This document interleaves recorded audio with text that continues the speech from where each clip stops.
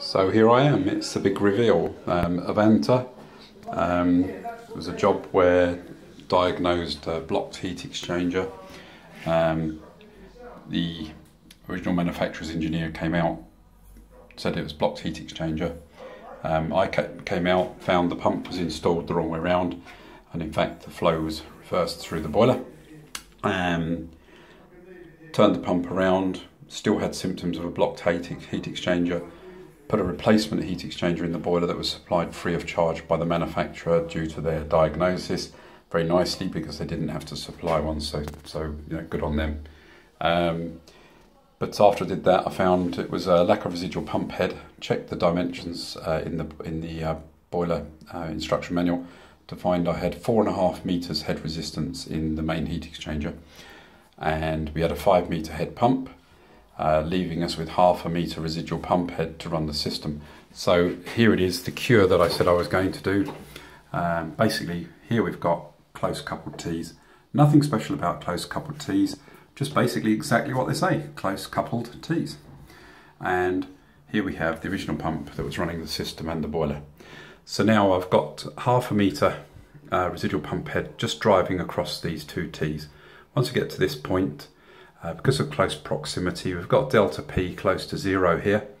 Um, so there's no, or, or, close to close to zero in, um, interaction between the pumps. So this pump is literally driving the heat exchanger down to this point. This pump then picks up the duty. Now my resistance in my system is probably, I don't know, maybe two, uh, two and a half meters head. I don't know, I haven't done a calculation.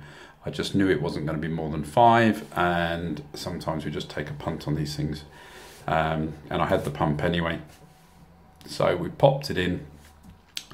I'm now getting good delta T on this side, good delta T on this side. It's not perfect. I'm getting I'm getting about delta T 13, delta T 14 on this side, which suggests maybe this could have been a 1560 pump, uh, interesting enough, just for the heat exchanger. Um, but it's, it's close enough. I'm not going to start fighting over a, a couple of degrees. And, and I'm getting uh, um, something similar onto this side as well. I can't remember now. It was a, a, week or so ago since I measured it. They actually closed the site down. Um, they've uh, decided they're not going to make money on this, going to lose money, so they've, they've closed the site down. So I kind of just about got in today, just as a bit of a favour to do this video actually. So that's it. Um, yeah, so when we tested it all up, everything worked. Radiators all came on. Index radiator was getting nice and hot. Delta T wasn't quite perfect. Delta T wasn't quite perfect on the boiler, but it was very close and everything worked. And yet again, this close coupled T's, just such such a cheap, clever fix um, to give you give you hydraulic separation. Uh, just to bear in mind that um, we're told by some of Viessmann Tech that this isn't hydraulic separation. Um, they, they claim that only a plate heat exchanger is, but if you read most of the other technical literature, Caleffi, etc., they'll tell you this is hydraulic separation. So um, I'm going with Caleffi and all the others, um, whereas I normally go with Viessmann. But um, yeah, okay, so I hope that uh, clears that up. Um, just a little bit more. The, the other idea I've got at the moment is to actually put a plate heat exchanger in here.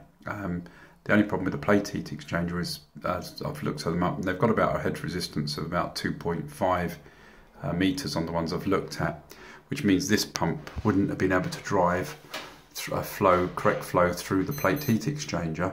Um, just to go through the boiler and the plate heat exchanger, I would have still needed um, a large pump. So we need to be a little bit careful of that if we're going to try that idea.